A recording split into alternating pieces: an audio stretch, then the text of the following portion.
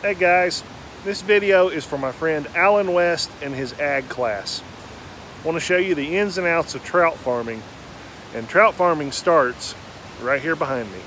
I'll show you what I'm talking about. Farm, you just cannot go to any body of water and begin to pull water from it. Water temperature is important, water quality is important, and in the government places you know, a lot of restrictions on how much water you can capture from a river or a, a creek uh, to divert to the farm. And that all happens right here. You can see there's a, a dam here. And as the water is diverted down through this trough, there's a stream that lays in here with holes all in it. The water pours down through here and is captured by a pipe runs over here to this head box.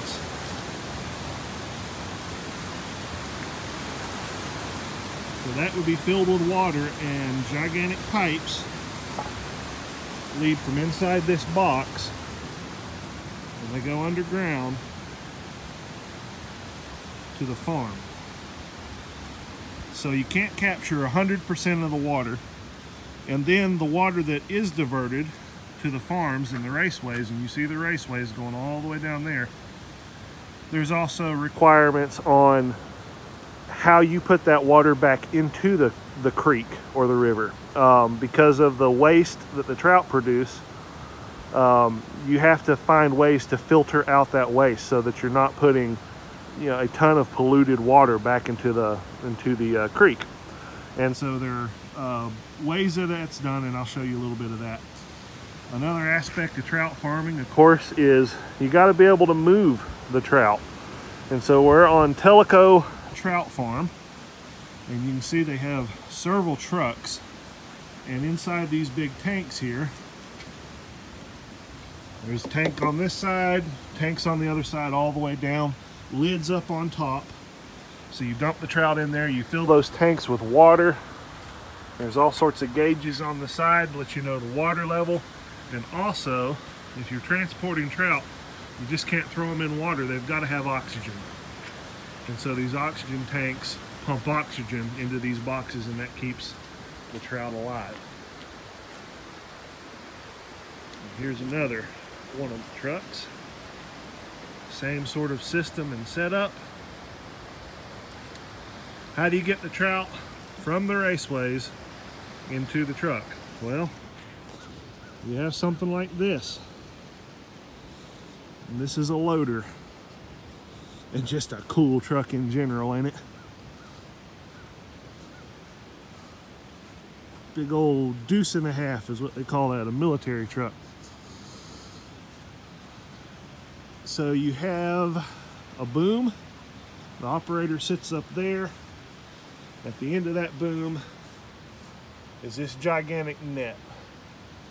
And so you pull this next to the raceway and the net goes into the water, scoops out the trout, and that truck's parked right next to the raceway too, and you dump the trout into the top and you're ready to transport to another farm. Another question you might have is once you get the trout into the truck, how do you get them out? And that's pretty cool. That's one of the things everybody likes seeing. Got this metal chute right here. That will attach right here and come out. And so this box would be full of trout. You attach the chute here, lift this up,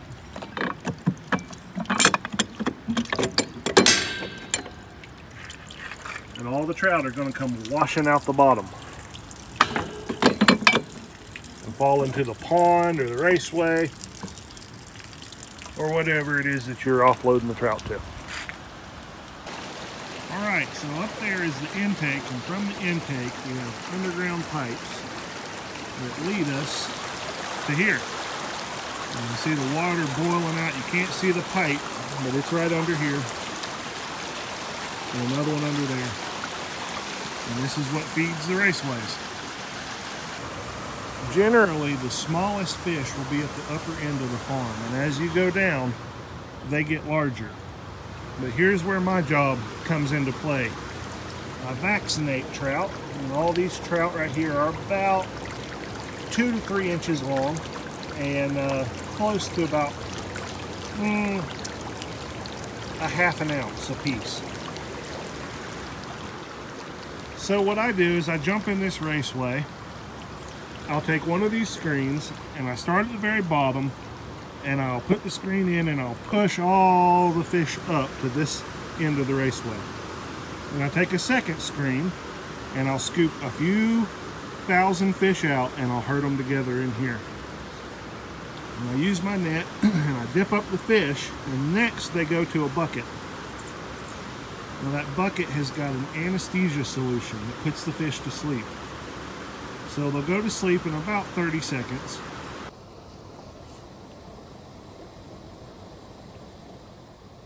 They're asleep. All right, I'm gonna set up so you can watch me shoot these things. I'll be back.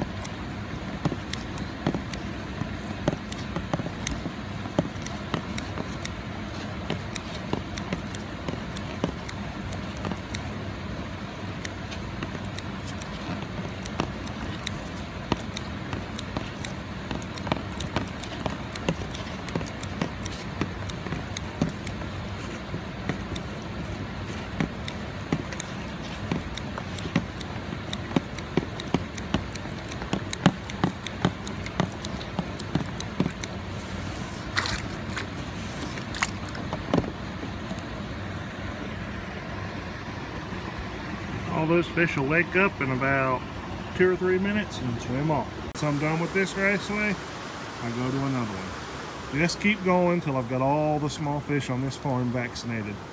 And it's a never-ending chain because as soon as I get these fish done, more fish are coming out of that building right there, which is the hatchery. The fish arrive as eggs, and they're developed, and they're grown, so they're big enough to be put out on the farm, and shortly after they're put out on the farm, that's when I vaccinate.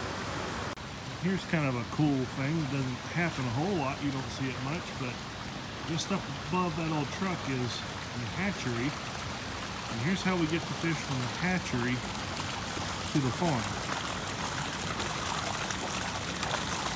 You can see them being flushed out of that pipe.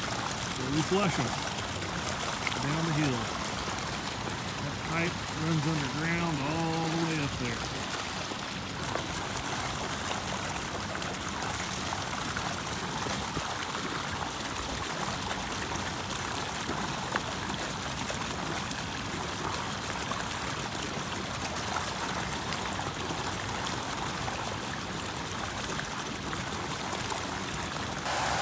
The vast majority of fish grown on the farm are rainbow trout and generally they're all female.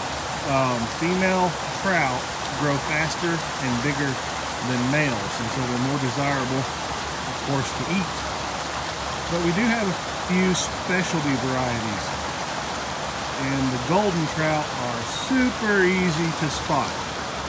We've got brook trout, and we've got brown trout, tiger trout,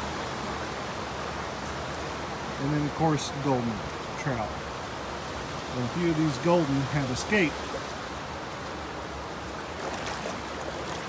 And they are just beautiful fish. Well, one of the problems with having so many fish in a confined area is that they need a lot of oxygen. The water has to be oxygenated, and in particular in the summer, that becomes a hard thing to do as the water heats up. So we use these boxes right here. Now right now, because it's the winter, they're not in operation. But in the summer, where the water flows in, will be a screen that lays across the top of the whole thing. the hoses right there have got oxygen flowing through them and they're connected to the insides of the boxes. So as the water flows into the box and pours down through the openings in the screen, the inside of that box, the hollow place, is filled with of uh, high uh, oxygen, oxygenated air. The water picks up the oxygen, pours out through the bottom of the box, and oxygenates the water. And in the summer, every other set of raceways has one of these boxes to keep the, the oxygen level high enough for the fish to survive.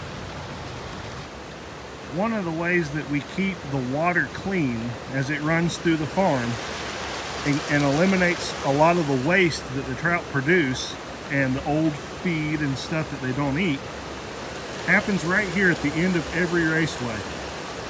You see there's a screen and then there's a small settling area. So as the waste goes through the screen, it lays right in this area. Now this is probably oh, about a foot deep, full of waste.